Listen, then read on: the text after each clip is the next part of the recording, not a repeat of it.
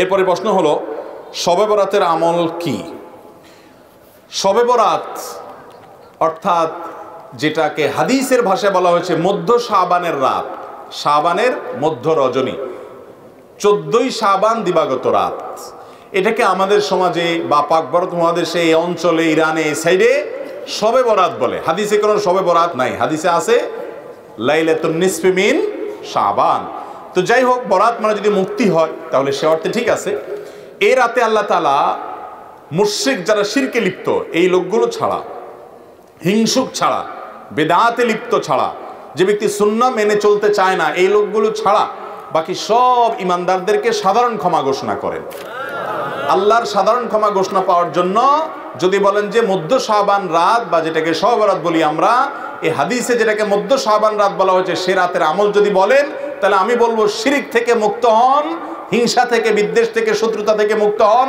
কারোর পিছে লাগালাগি করেন না, অন্তরের কারোর প্রতি ক্ষোভ হিংসা থাকলে, শত্রু থাকলে মুছে ফেলান, পরিষ্কার হয়ে যান এবং বেদাত থেকে মুক্ত হয়ে যান। সুন্নতকে আঁকড়ে ধরেন ইনশা আল্লাহ আপনি সাধারণ ক্ষমা আল্লাহর পক্ষ থেকে পাবেন। কথা কি বুঝাতে পারছি? এছাড়া যদি এরাতে কেউ ব্যক্তিগতভাবে আমল ইবাদত করে, অন্য রাতেও করে এরাতে আল্লাহ ক্ষমা করেন, এতটুকু অন্তত হাদিস দ্বারা সাবেত অবশ্যই আছে। সেই বিষয়টা লক্ষ্য করে এরাতের ফজিলত একেবারে উড়িয়ে দেওয়ার মতো না।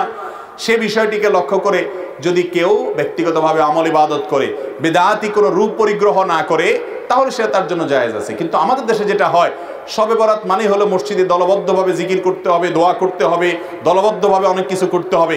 নফল, বিশেষ করে সুন্নত আমল, এটা একা একা করার যেগুলো, সেগুলো একা একাই করতে হবে, যেগুলো দলবদ্ধভাবে করার কোনো নির্দেশ নাই।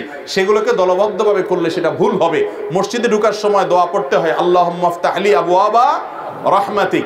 এই দোয়াটা পড়ার জন্য যদি মসজিদের দুয়ারে ইমাম সাহেব, মোয়াজ্জেন সাহেব সহ সব মুসল্লি সাহেবরা দাঁড়িয়ে হাত তুলে আল্লাহর কাছে সবাই মিলে দোয়া করে আল্লাহ আলী আবু রহমাতিক। সমস্যা হবে। এরপরে মসজিদে ঢুকে, এটা কি সুন্নত হবে না সুন্নতের খেলাফ হবে?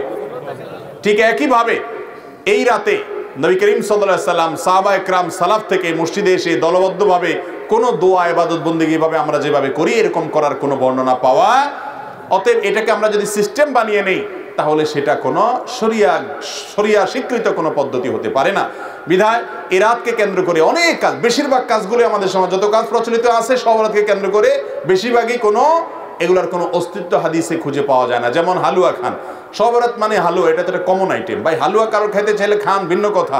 কিন্তু এই রাতে খাইতে হবে। এই হাদিস বানায়া, জাল হাদিস বানায়া খাওয়া জায়েজ নাই। আপনি এমনি অন্য সময় খান, এ রাত্রেও খান, কিন্তু আপনি অন্য কোনো সময় খান না, এটা এটার খাওয়ার ফজিলত বানাইছেন কি?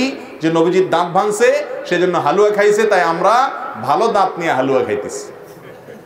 আপনার বাবার পাও ভাঙছে। ভদ্রলোক একটা লাঠি দিয়ে ভর করে খোড়ায় খোড়ায় হাঁটে।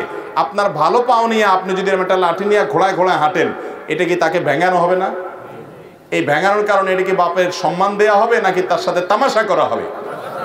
আর দ্বিতীয় কথা হলো নবী করিম সাল্লাহ সাল্লামের ওহুদের যুদ্ধ এই শাবান মাসে বা তার আগের মাসে হয়ই নাই যে তিনি হালুয়া খাইছেন। বিধায় এই সমস্ত জাল হাদিস আমরা আমল করব না। এই উপলক্ষে আপনার আতসবাজি করা সহ অনেক ভুলভাল কাজ আছে, সেগুলো আমরা করব না। বাকি রাতে আল্লাহ তালা মানুষকে ক্ষমা করেন। আপনি আল্লাহ কাছে ক্ষমার আশা করেন, শির থেকে এবং হিংসা থেকে, বিদাত থেকে নিজেকে পরিচ্ছন্ন করেন। আল্লাহর কাছে দোয়া করেন, সেটা ভিন্ন বিষয়। আল্লাহ তালা আমাদেরকে বুঝার তৌফিক।